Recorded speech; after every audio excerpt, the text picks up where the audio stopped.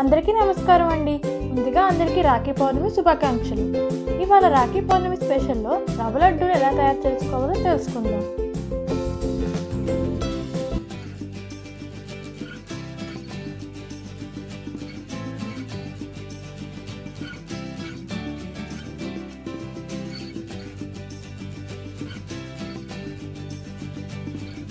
ముందుగా మనం ఒక బాండీ పెట్టుకొని ఒక రెండు స్పూన్లు నెయ్యి వేసుకుని కొంచెం జీడిపప్పు వేసి వేయించుకోవాలి. జీడిపప్పు లైట్ గోల్డెన్ కలర్ వచ్చిన తర్వాత వాటిని ఒక గిన్నెలోకి తీసుకుని పక్కన పెట్టుకోవాలి. ఇప్పుడు మనం ఒక కప్పున్నర తురిమిన కొబ్బరి వేసి వేయించుకోవాలి.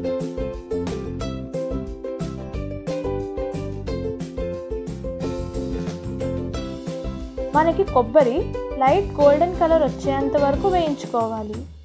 అలాగే మనకి వేగినట్టు స్మెల్ కూడా వస్తుంది. ఇప్పుడు మనం దీన్ని ఒక ప్లేట్లోకి తీసుకుని పక్కన పెట్టుకోవాలి. ఇప్పుడు ఇదే బాండీలో ఒక రెండు స్పూన్లు నెయ్యి వేసుకుని ఒక కప్పున్నర ఉప్మా రవ్వ లేదా బొంబాయి రవ్వని వేసుకుని వేయించుకోవాలి. మనం ఉప్మా రవ్వని అలాగే తురిమిన కొబ్బరిని ఒకే క్వాంటిటీలో తీసుకోవాలి. లైట్గా రవ్వ మనకి గోల్డెన్ కలర్ వచ్చేంత వరకు వేయించుకోవాలి. వేయించుకున్న తర్వాత స్టవ్ ఆఫ్ చేసుకుని పక్కన పెట్టుకోవాలి.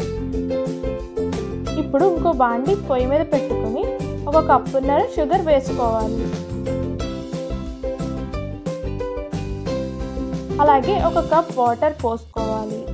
మనం రవ్వ లడ్డు చేసేటప్పుడు గుర్తుపెట్టుకోవాల్సింది ఏంటి అంటే మనం ఏ క్వాంటిటీ అయితే కొబ్బరి తీసుకుంటామో అదే క్వాంటిటీ రవ్వ అలాగే పంచదార కూడా తీసుకుంటాము. తీగ పాకం వచ్చేంత వరకు ఉంచుకోవాలి. మనం పాకంని పట్టుకుంటే ఇలా తీగలా వస్తుంది. ఇప్పుడు మనం ఇందాక వేయించి పక్కన పెట్టుకున్న రవ్వని అలాగే కొబ్బరిని ఇందులో వేసుకుని కలుపుకోవాలి.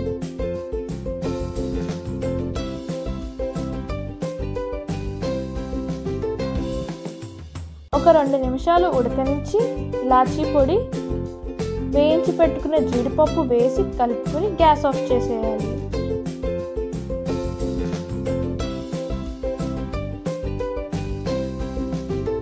ఇప్పుడు ఒక టూ స్పూన్స్ నెయ్యి దీనిపైన వేసి మూత పెట్టుకుని చల్లారేదాకా ఉంచుకోవాలి. ఇప్పుడు మనం మూత పెట్టడం వల్ల మనకి రవ మగ్గుతుంది. లైట్గా వేడి ఉన్నప్పుడు చేతికి నెయ్యి రాసుకుని ఉండలు చేసుకుంటే అయిపోతుందండి.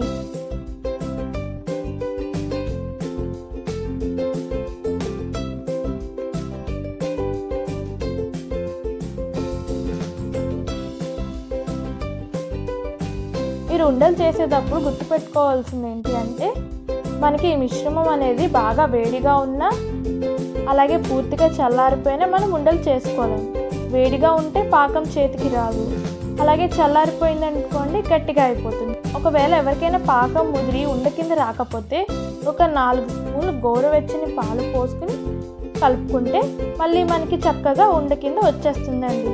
అంతేనండి. ఎంతో టేస్టీ అయిన రవ్వ లడ్డూలు తయారైపోయినాయి. మీకు వీడియో నచ్చినట్లయితే లైక్ చేయండి మీ ఫ్రెండ్స్కి షేర్ చేయండి. మరిన్ని వీడియోస్ కోసం మా ఛానల్ని సబ్స్క్రైబ్ చేయడం మర్చిపోవద్దు.